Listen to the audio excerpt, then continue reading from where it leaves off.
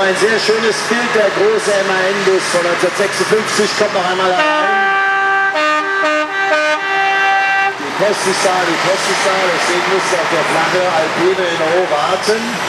Äh, hier ist er der erste Bus, der gebaut wurde mit automatischen Falttüren auf der rechten Seite, also der Fahrer per Knopfdruck die Fahrgäste ein- und aussteigen lassen konnte. Und der Mann hier, der hat heute richtig hart gearbeitet, so ohne Servolenkung, mit manueller Kupplung und allem drum und dran. Separate Scheibenwischermotoren sehen Sie an der Frontscheibe für jeder Seite einen eigenen.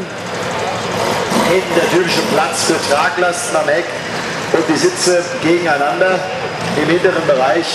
Ein wunderbar erhaltenes Exemplar mit manueller Handbremse, die wird jetzt gerade angeratscht. Also auch das was ganz Besonderes, der MAN-Bus gebaut hier in Augsburg.